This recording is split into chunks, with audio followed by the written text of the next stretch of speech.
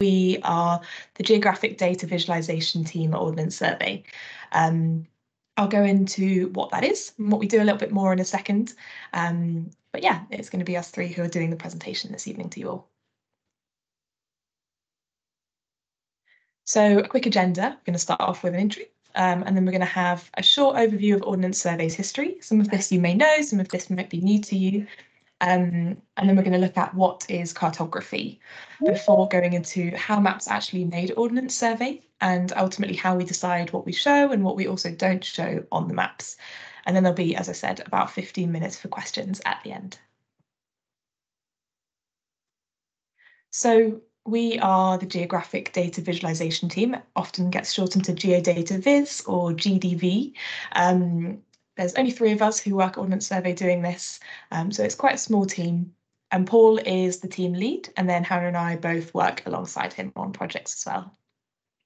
And the kind of purpose of our team is to help the public sector and OS customers to make sense of data through maps and visualizations. We're really lucky we get to do some cool creative projects and make one-off maps a lot of the time and stuff that's a little bit different different to the maps you might be used to when you think of Ordnance Survey. Um, and we also get to deliver a lot of talks and presentations just like this one, which we really love doing. So a quick intro to the history of Ordnance Survey. Um, OS was initially created in 1796. We're a pretty old organisation um, and that was when the UK was at risk of invasion by France. Um, the southeast coast, obviously being closest to France, was the one under threat. And Parliament at the time needed a really accurate depiction of the land and of that coastline to be able to plan their defence strategies and ward off risk of attack, basically. And because of this, Ordnance Survey began with a very military focus, and the things that are shown on this map, on the first Ordnance Survey map, um, are very related to that. So they're things which would be relevant to kind of military strategy, planning, defence, all those sorts of things. Um, we often say that essentially the things that are shown on this maps are ones that you could hide behind as a soldier or things that would act as an obstruction as a kind of to ward off the attack. And that's where the name Ordnance Survey comes from. So ordnance meaning things like cannons and other military defence weapons, and then survey because we were plotting where all of those military bases were located. So when you put those together, you obviously get Ordnance Survey. Um, and as I mentioned, this map on the screen is the very first Ordnance Survey map.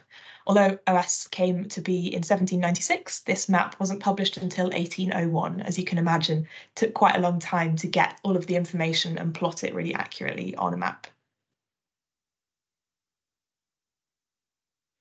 And over our history, we've changed a little bit, as you can imagine. So we've gone from mapping organisation with a real military focus.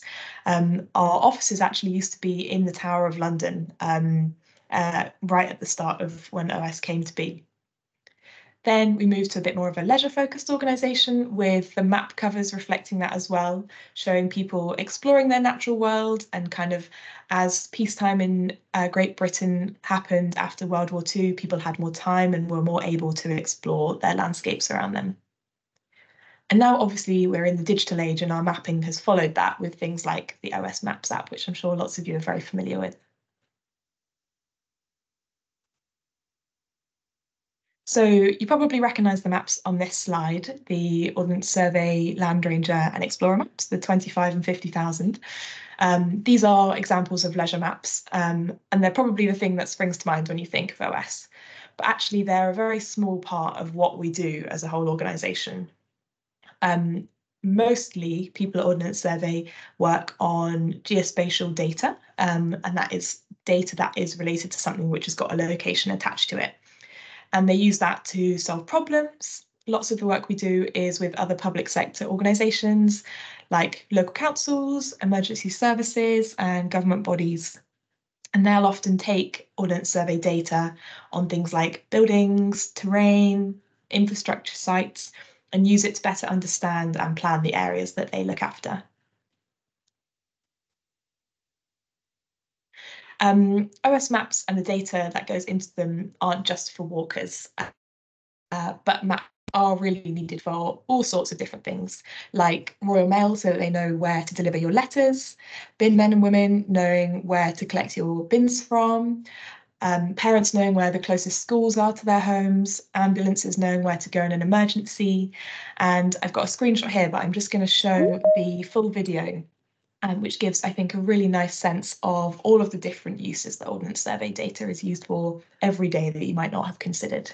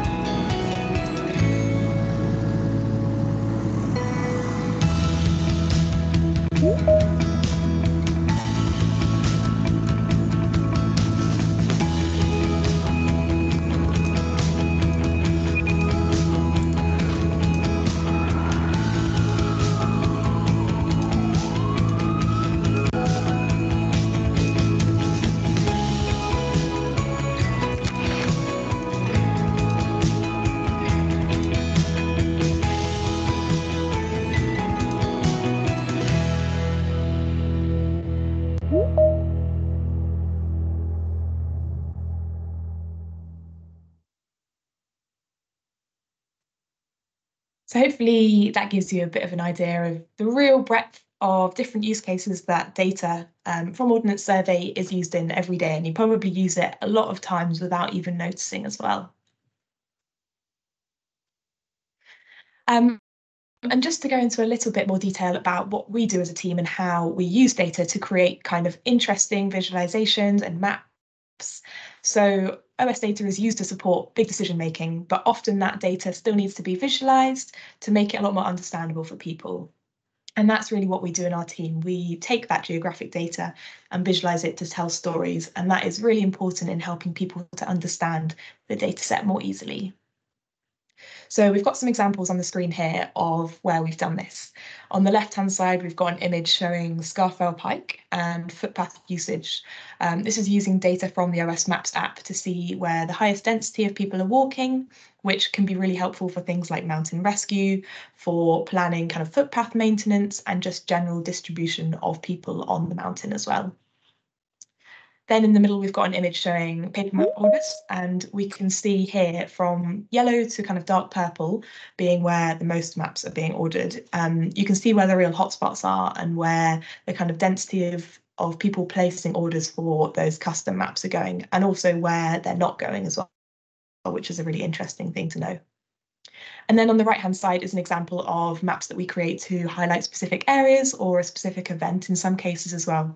Um, this is a running challenge that's quite well known up in Scotland. And we wanted to show the route in a lot of detail, show the elevation profile, and kind of celebrate what an immense achievement it is to, to do this event as well. So I'm just going to go quickly into what cartography actually is. And you are probably familiar with the term. If you signed up to this talk, you're probably interested in it anyway, but it's not so simple as a very specific definition. So there are lots of different definitions, some of them being um, a sheet of paper or a map um, and the study and practice of making maps, or a combination of science, aesthetics, and technique, uh, and it building on the premise that reality can be modelled in ways that communicate spatial information effectively. But the definition that we like to use is from the British Cartographic Society, and that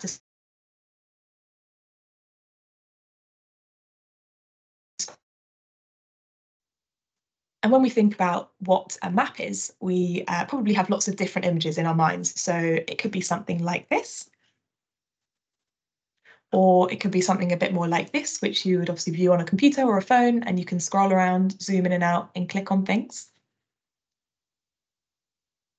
Or it could even be something like this, which is a bit more aesthetic. It's got kind of terrain as a 3D element um, and shows you that third dimension as well.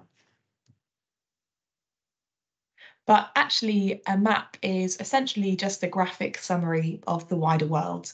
It's that geography of the world around us presented as points, lines, polygons, um, and symbols as well that are all scaled down and simplified to make them understandable.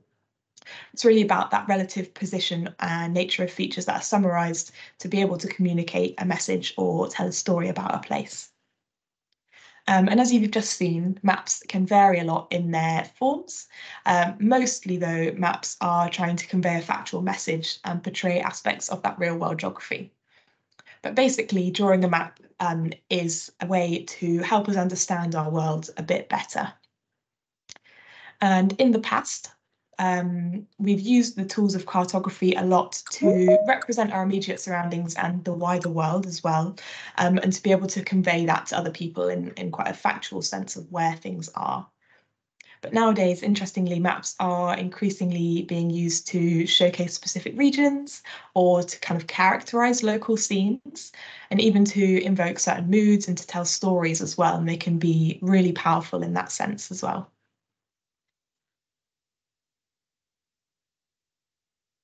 So now I'm just going to hand over to Paul to talk through how maps are made. Thanks, Jess. Evening, everyone. Yeah, I'm just going to talk through the kind of process and the stages that go into making maps from scratch, because as I'm sure you can imagine, there's a lot of things that go into that whole map making process. So we're going to look at that in a bit more detail now.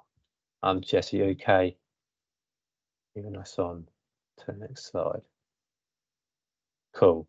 Right, so before you can even think about making a map, you obviously need data or information about the area that you want to map, right? So this is all about how you go ahead and collect all of that information.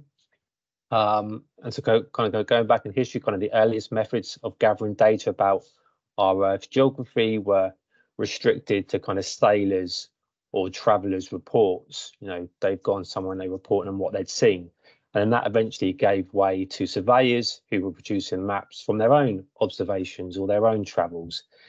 Um, but it wasn't really until the kind of development of mathematics and then scientific instruments like the compass, uh, the telescope, or the theodolite, which kind of then led to the systematic and kind of scientific measurement of our landscape, which really was a kind of major step forward. At Ordnance Survey, um, we collect data about Great Britain um, in a number of different ways. And these processes that we've used kind of have evolved over the years too. Um, I think it's probably fair to say you can't be a kind of surveyor on the ground. Um, at Ordnance Survey, there are 230 surveyors, each of which cover their own kind of piece uh, of Great Britain. So when there are changes in their area that need mapping, they will go and capture that information it's needed to then make make those changes. So this could be a new housing estate, it could be a new road, or it could be a new footpath, for instance. Um, field survey has been around for many years. It's kind of just a technology, and if you look at the picture on screen and the outfits that have changed, you know, look very different from what they did many years ago. Um, and today, our surveyors use a highly accurate GPS, so a geographic positioning system device, um, which maps where things are down to like just a few centimeters.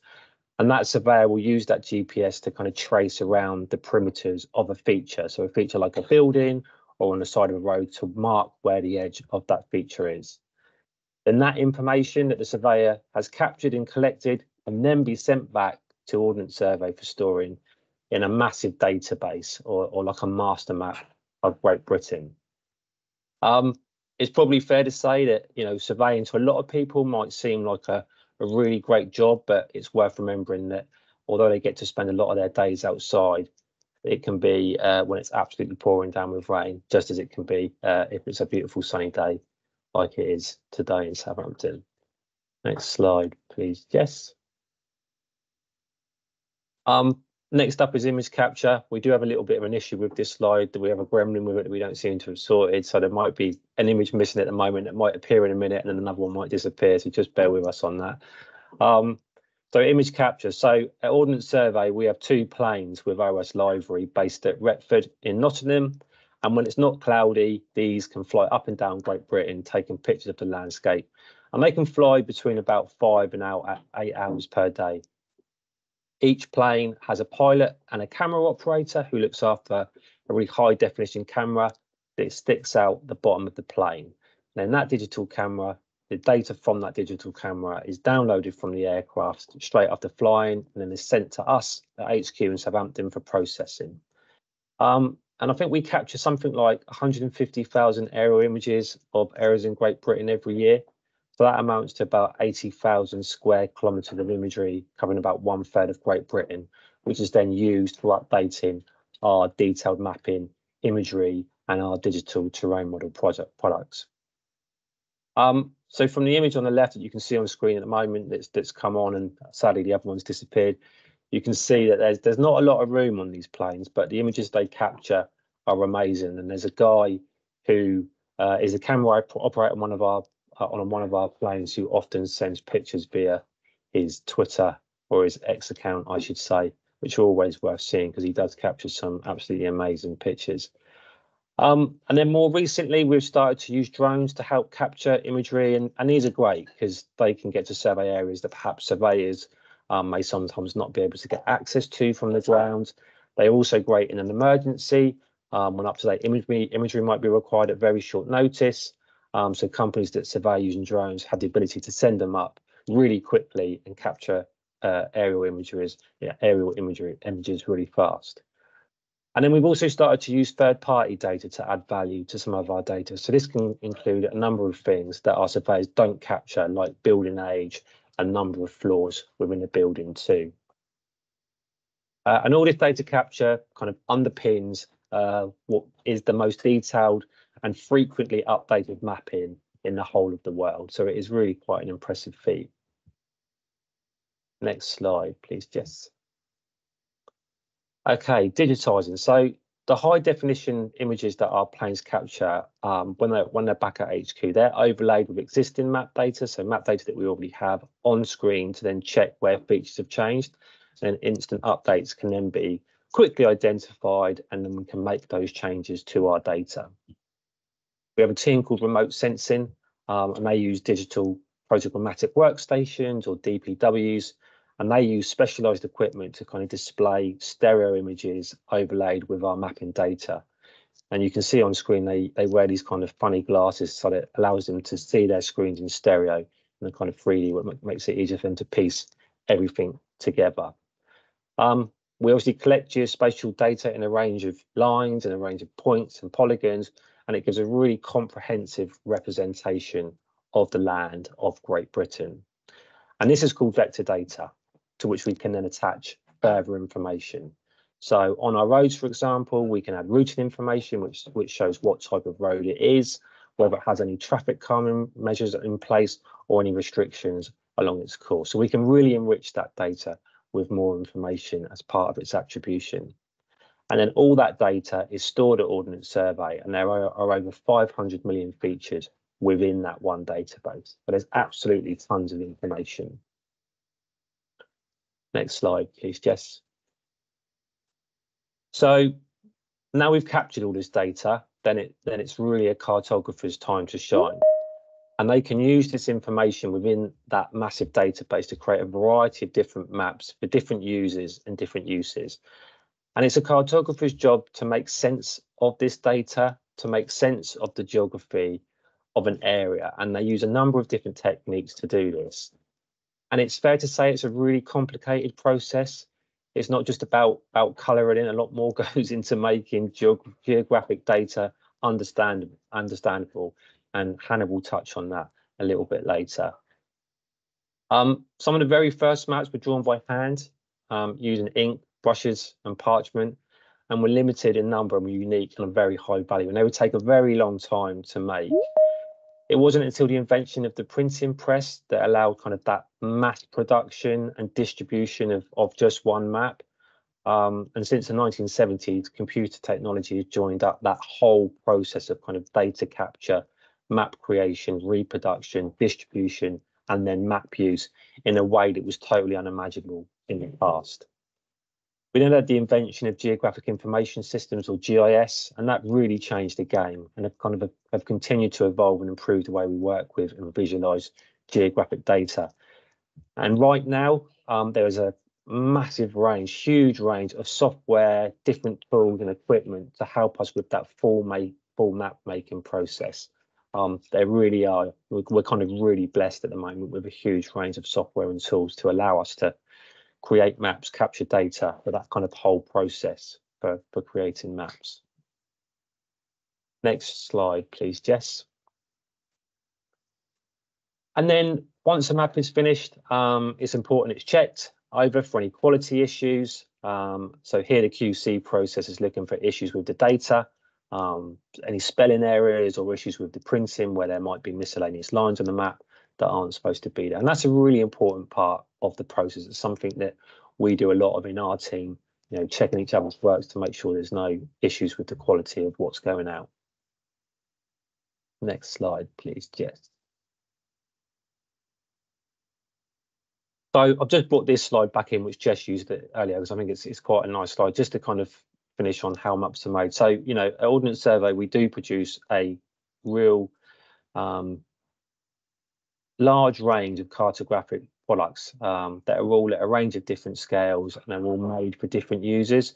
Some are designed for walkers and cyclists to enjoy the outdoors, whilst others are produced as backdrop mapping for other people to lay their, their own data on top. And that's the map making process. I'm going to hand over to Hannah now. Thanks. Thanks, Paul. Um, so we're now going to kind of have a bit of a look about the maps themselves. Um, at OS, you're um, you're probably very familiar with sorry these OS maps um, that are on screen today. So this is the much loved Explorer and Landranger maps. We don't actually make those within our team; they're made within our cartograph um, cartography department. But both Paul and I have worked there in the past. Um, I'm sure many of you are kind of avid users of these maps. But have you ever actually thought of how we kind of decide what to put on the maps and what techniques cartographers employ um, to ensure that the maps are legible and usable. As you've already heard, um, Ordnance Survey has its roots in the military, um, as Jess said. Um, Post-war, the nation really wanted to kind of get out and explore more. So be that in the motor car, um, on a bike, or perhaps as a rambler. So this uptaking kind of leisure pursuits meant that roads and footpaths started to become more important. Um, and this uh, became emphasized on our maps. And this is really kind of where the OS leisure maps were born. Hopefully if Jess clicks on, there should be some beautiful covers um, that were designed in the 1920s by the artist Ellis Martin. So they depicted people kind of exploring and getting out in the local countryside. And this was a really kind of marked shift um, in kind of the style of OS maps. Um, and these were designed to kind of help map sales and it really, really worked. Um, and kind of map scales skyrocketed um, after that point. Next slide, be Jess. But how do we decide what to put on our maps? Our National Geographic database contains over 500 million real world features, so half a billion real world features. So this is from roads to buildings, bridges to field boundaries, green space to waterways and everything in between. These features, as you know, Paul said, are captured in immense detail, but we also have very rich attribution about them. So for example, if we think about buildings, we know where they are, and we know their shape. We also probably know how tall they are, um, how many addresses and which addresses are in each building, whether they're commercial or residential addresses, whether perhaps the building has a basement, what they're made from, and an indication of how old they are. But we can't show all of these 500 million real world features and all this attribution on a map, um, particularly a printed map. They would all overlap and they would make the map completely intelligible. So if we think about the 1 to 25,000 Explorer map, you've got four centimeters to represent one kilometer in the real world. So if you think about what happens within one kilometer from your own house, all of that kind of detail, every pavement, every road, every patch of grass, every street lamp, every bin, every tree, every waterway, every bench, could you actually fit that onto four centimeters and still have a legible map? Probably not. And then this is made worse for things like our 1 to 50,000 Landranger map, where you've actually only got two centimetres to summarise what happens in that one kilometre on the ground. So as cartographers, we have to make decisions about what to include and more importantly, what to omit from our maps in order to make them legible, understandable and usable. So how do we go about making these decisions? Next slide, please, Jess. So firstly, we think about the user, and this goes for every map and data visualization that we make and is integral to everything we do. If a map doesn't meet, meet the needs of the user, it won't be used. So if we take the 1 to 25,000 Explorer map, which you can see in the centre of that screen, um, it's designed to be a general purpose topographic map with a focus on leisure activities. So you may use them to plan cycle routes and walking routes, um, and then use the same maps to navigate along them. So that's the sort of planning and the navigation that they're catering for. And it could be that you're planning something in a city, or perhaps it's in kind of remote mountainous terrain. So we need things like contours, rock outcrops, scree slope, and land cover. But these maps are also used um, by the military um, for, you know, as Jess said, you know, their sort of operations. They're also used by things like local authorities for planning and decision making, by environmental organisations um, to manage land or coordinate conservation e efforts. Each of these users wants different things on that map. So we have to think very carefully about all of the, the different users um, when creating these maps. Sadly, no map can show everything, so it's often a really tricky balance um, due to space constraints to kind of balance those needs of the very varied users that use a single map. If we're thinking about recreational users, they'll want things on there like roads, footpaths, cycle routes, public toilets, perhaps bike hire, botanical gardens, viewpoints, campsites, you know, parking and other tourist facilities. Um, but this is very different to perhaps the military. They're not very interested in those sort of tourist symbols. So it really is a balance. So there's all those features that we want to put on the map, but we also require lots of labels because labels often make the map understandable. They help you use that map and they help you orientate yourself on that map.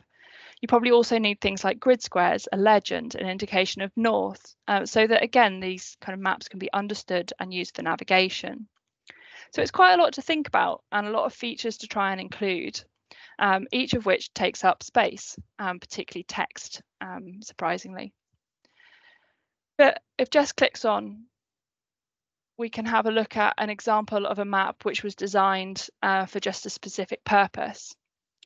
So this map was designed to kind of help people uh, get out and about more specifically families um, from kind of more disadvantaged backgrounds living in Birmingham. So to get them out on their bikes and explore the green spaces around the city.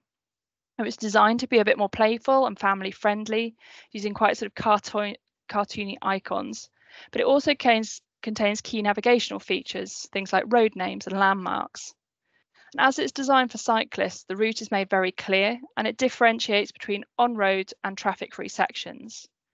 Warnings have been included where the road crosses um, busy roads um, and where junctions contain kind of cycle and pedestrian crossings.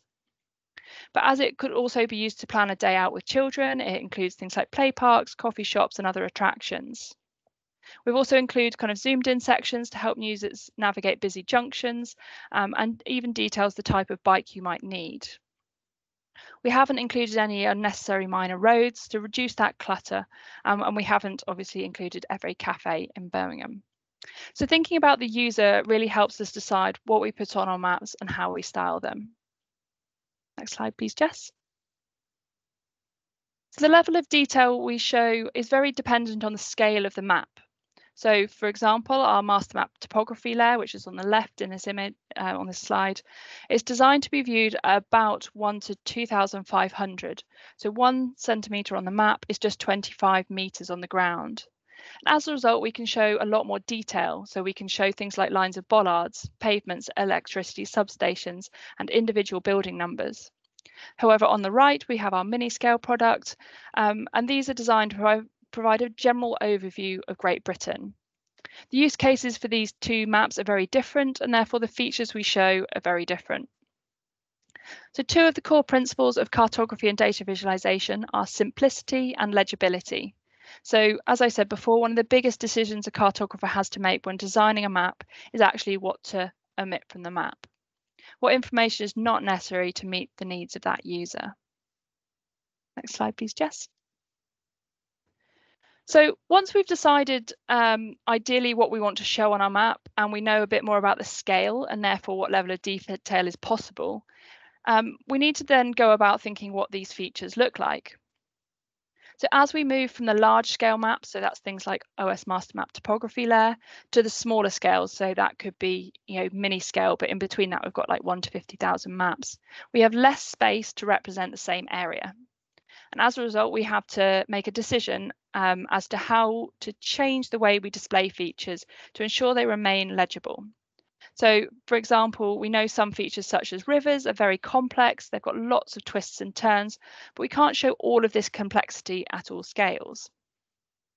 So in order to reduce that complexity um, of features and maintain that legibility, we use a number of techniques which we call generalization techniques.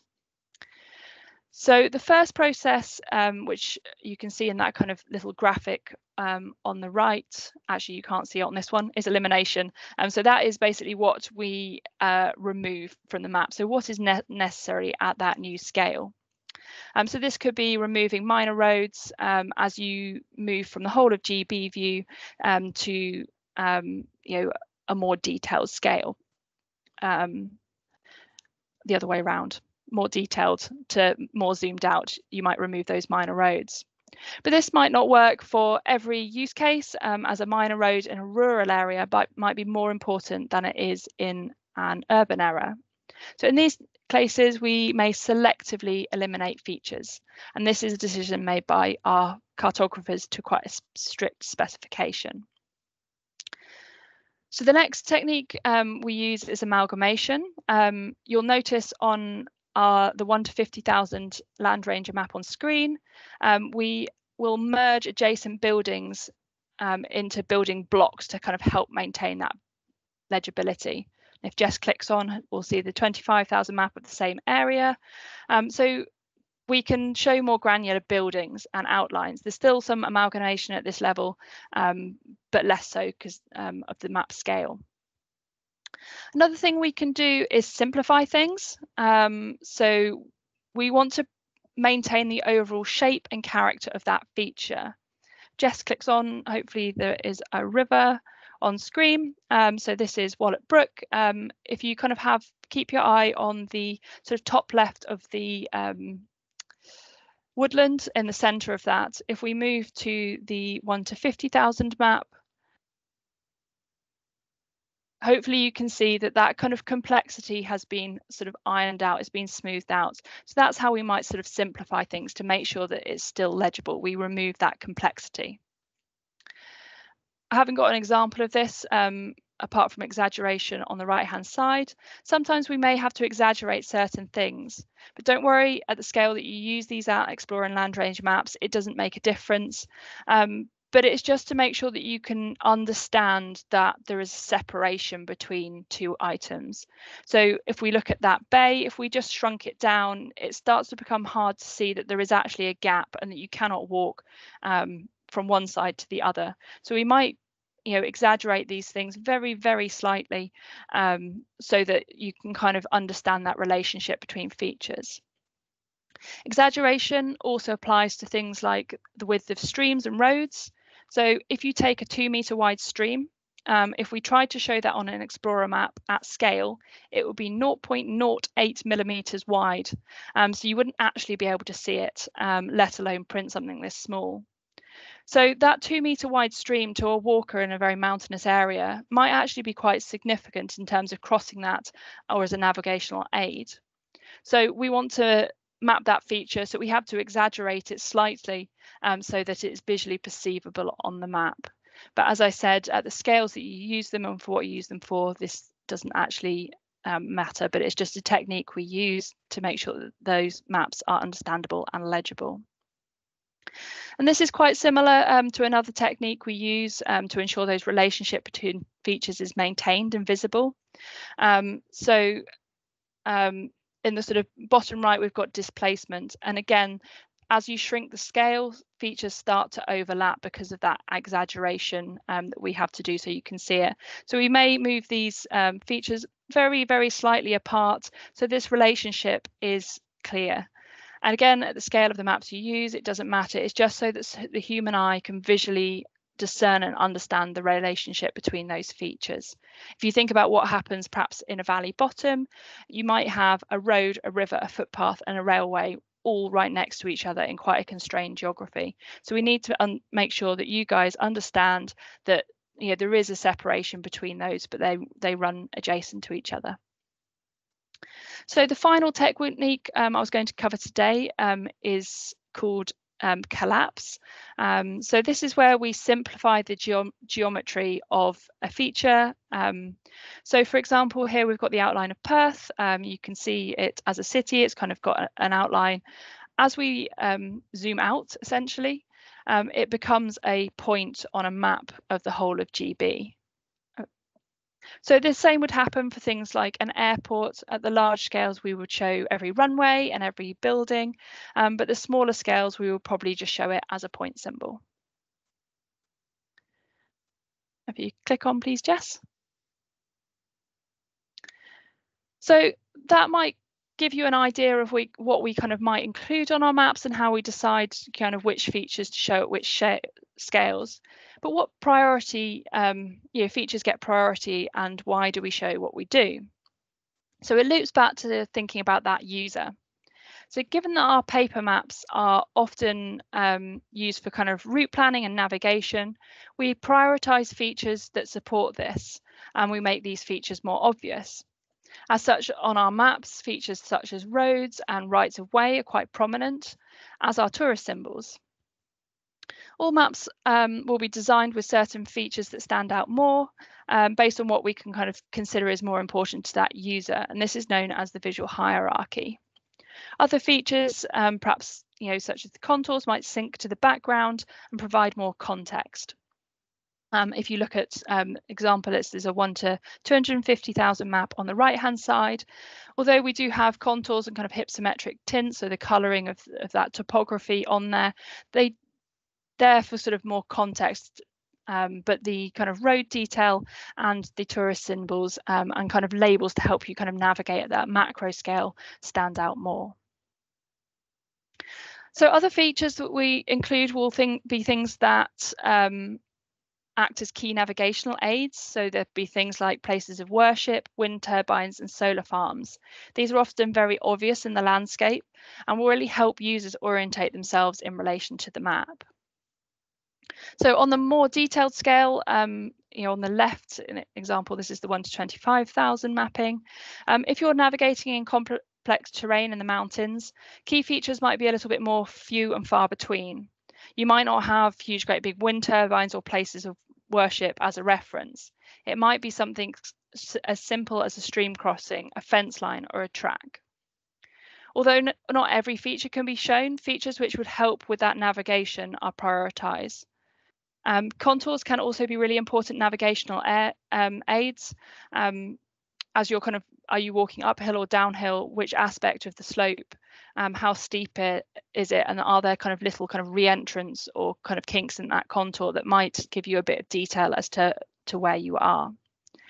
So if we look at that image on the left, if you're walking along that black path from left to right, you'll expect to cross a ford um, and there's a possible area of kind of water or kind of boggy ground, um, probably to your right. You'll then start moving gradually uphill and through a band of rocks before reaching some old disused shelters, which may be just subtle piles of stone. You'll then come to a steep drop um, and the path continues um, with the drop to your left. So all of these features on the map will help with navigation and are thus included on our mapping. As we've said before, the level of detail will depend on that scale on the map um, of the map. So the 1 to 25,000 maps are Explorer maps. We can show most detail. Um, we can show fence, li fence, lines, for example. But on a 1 to 50,000 map, um, we have to make a compromise on what is shown. Um, we do regularly review what is shown on our maps based on kind of user engagement. So, for example, solar farms were introduced a, few years ago um, as they started to appear as those kind of key features in our landscape. Next slide, please, Jess. So other than making um, features more visible than others, we also use kind of colour and symbols to help you understand the map. So we use conventional colours, um, blue for water, green for green space, to help you kind of understand what you're looking at. We also add symbols such as kind of trees to help you understand that um, type of woodland in that area. Perhaps if it, is it coniferous, is it deciduous, or maybe it's mixed. Or if there's an area of kind of marshy ground, we'll add symbols to kind of help you understand that. We also use colour to help you understand things like the road hierarchy. Um, on the um, right, we've got a section of our Landranger mapping. Um, a roads are red, B roads are orange, minor roads are yellow, and local roads are white. These colours have been chosen on purpose to help you understand the map. We naturally perceive colours as having a hierarchy. They are a sequence, um, and this is kind of built into human perception. So red is seen as more important than orange, and orange more important than yellow, and yellow more important than white. So this sort of clever use of colour can just help you understand and read our maps. Um, next slide, please, Jess. And finally, as we mentioned earlier, we we constantly evolve what needs to be included in our maps, but that also means that maps can tell us a bit about the past. By examining a map and its legend in detail, um, a map can reveal all sorts of information about the area it represents. And looking at old maps can give us a snapshot of history um, and what was going on at the time. So if we just have a quick look at an extract from the map legend in the top left, um, this one was um, one of the kind of first maps um, published in around 1920 to include um, surface type of roads. So it showed the growing importance of the motor car. Instead of just needing to know that there was a track linking two places, users wanted to know whether the road was metalled and in good condition for fast traffic um, or perhaps it was badly surfaced. Um, much like these kind of categories of roads changing, the OS legends, um, as you can see here in the top right, have changed. Um, this one shows glassworks, ironworks and smithies, um, and this shows the kind of industrial nature of Great Britain in the late 1800s. So things like that don't really exist on our maps um, today um, and are not really of huge significance. We may now see wind turbines and um, solar panels. So kind of this change in what we show on our maps tells us a little bit about what was happening at the time that it was published. Modern maps also include features that give a kind of indication of a history of a place. So for example, Gothic writing, um, such as tumuli or earthworks on kind of the image on the bottom left, they indicate an archaeological site. It's likely to be prehistoric or medieval, but not Roman, um, and will often be kind of things like burial mounds or remains of old hill forts. Um, they all, again, give a kind of indication of the history of an area. Um, stretches of road or earthworks um, confirmed to be originally Roman are also marked on OS maps um, and they're labelled in kind of capital um, letters um, in serif fonts, um, as an example on the bottom right. so that's everything we've got to say today, really. am I, I think I'm handing back to Jess. Are you just going to do the wrap up and then we'll move on to some questions. Yeah, thanks so much, Hannah. Um, and yeah, hopefully you all found that interesting and learned something new about Ordnance Survey and have got a new appreciation for the mapping and what goes into them as well. If you are interested in learning out a little bit more or want to do a bit of a deeper dive into some of the stuff we've talked about today, we've got a new platform um, called More Than Maps, where we've got loads of information and examples about different elements of cartography and also different elements of data visualization. So if you scan the QR code on the screen, I'll leave it up for a little bit longer so you've got a chance to do that. That will take you over there or alternatively just use the URL as well. Um, there's loads of other stuff on More Than Maps too. So if you work in the industry or want to have a bit of a deeper dive on some of the data that we use Ordnance Survey as well, there's tons and tons of information on that there too.